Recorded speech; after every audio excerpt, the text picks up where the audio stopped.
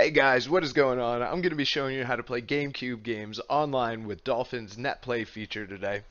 And it's a really simple process. There's only three things that you have to remember before we get started. One is make sure you and your friend got the game from the same place.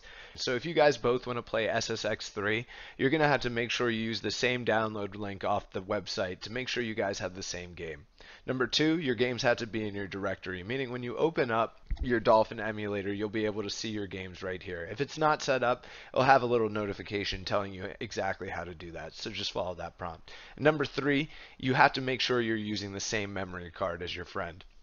So the first thing we're going to want to do to get into this is we're going to go to configure and we're going to go to GameCube and we're going to look at our memory cards. And here you can see the memory card slot A. So what we're going to do is we're going to open that up. Here you'll be able to see all your memory cards. I've renamed one. You might want to do this as well so you'll be able to identify it.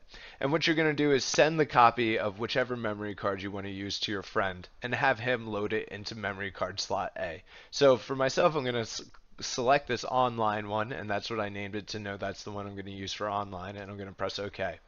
Now we're almost done believe it or not. Next thing you got to do is go to tools and then go to start NetPlay. When you originally open this, it'll be on direct connection. So you're going to switch this over to transversal server. You can make yourself a nickname if you want. You don't have to. I'm classy, so I made my name Milking My Mother. So down under that, you can see it says connect or host. So if you wanted to connect to a friend's game, your friend would send you a room code. And right here is where you'd type in that room code and then you'd press connect. But instead, I'm going to show you how to make a room. So now you already know how to connect to one, but we're going to make a room.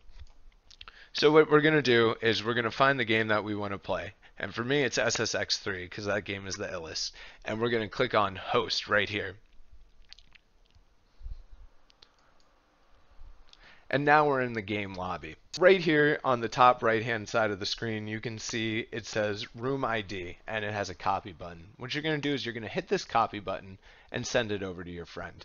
And he's going to go back to that connect screen that we saw on the other thing, type it in right there and press connect. And then you'll see your friend pop up right here under you and it'll say milking my mother and my jackass friend. Well, it won't really say that, but whatever your friend's name is.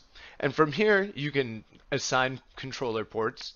So as you can see, milking my mother is number one on player one, and your friend would be automatically assigned if they came in, and same with the third or fourth person that came in. So you don't really have to worry about that unless you want to switch the controller order for some reason. And the last thing we're going to look at before we start up the game is this buffer right here if you or your friend has a particularly bad internet connection and you find that the game is lagging or becoming unsynced, what you're going to want to do is do the original steps we've already gone through, start up your room, and then you can raise this. I find that putting it on 18 works relatively well. I tend to play from with people with, from other countries, and our internet is not up to par with each other. And I feel like this is a good buffer between that. And after that, all you have to do is click Start, and it'll open up the game for you and your friend, and then you just go through the regular uh, notions of setting up a multiplayer match, and that's it. You're done. You're you're absolutely done. All you had to do is make sure your games are in the directory, make sure you have the same ISO, and make sure you have the same memory card, and boom, you could do whatever the fuck you want.